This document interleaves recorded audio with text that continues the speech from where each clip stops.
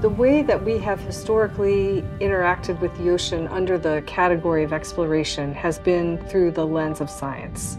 The questions of modern science, the tools and techniques of modern science. Today's view of ocean science has been very strongly influenced by the voyage of the HMS Challenger, which happened 150 years ago and is understood to have been the first oceanographic voyage. We're able to stand on the shoulders of other explorers and pioneers that came before us. They use different technology. We're a little bit more advanced, but the same spirit is there. The Challenger produced 50 volumes of reports, which absolutely laid the foundation of ocean knowledge on which today's ocean exploration continues to build. As Americans, we've always been looking beyond the frontier, always exploring, having an eye towards new discoveries. Pilot has control. Pull the pin.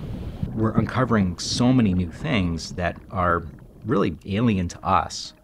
But all of those are just stepping stones, building blocks to be able to gain a better understanding of the ocean. And you need those building blocks if we're going to be able to make the right decisions on how to interact with the ocean in the future how we're going to manage our resources. We have climate change, we have ocean acidification, all of those things that, that scientists tell us about. Just as much as we see change on a climate scale here on the surface, all of that's happening underwater as well. It's not a quiet place. It's not a still place. There's currents that rip around these areas on the bottom of the ocean that are driving the circulation throughout the whole globe. To gain a better understanding of that is super important. Exploration should never just be centered on scientists. We should always center our exploration in a broader context. We should be able to take that exploration and translate it for the public, to give it to the public for them to be able to understand. And that's how we get the public excited about exploration. That's how we get the public excited about what lives in the deep ocean. And it's how we get that next generation of scientists. Pilot, dive super. Go ahead, dive super. Let's descend at 15 meters a minute, hold at 50. Good copy. The history of science as a field used to only study people who were considered scientists, who considered themselves to be scientists.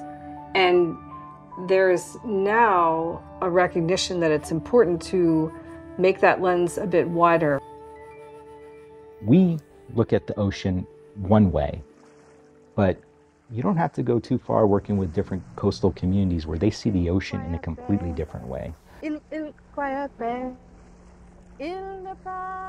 As a coastal Chumash person, everything in my culture includes the ocean. It means waves come in, the waves go out. The ocean was doing that before I was born. The ocean will continue to do that when I'm gone. We can't live without the ocean, but without us, she will go on.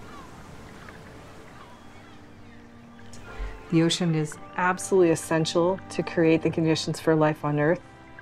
And it is up to us to take care of it and learn about it so that we can take better care of it.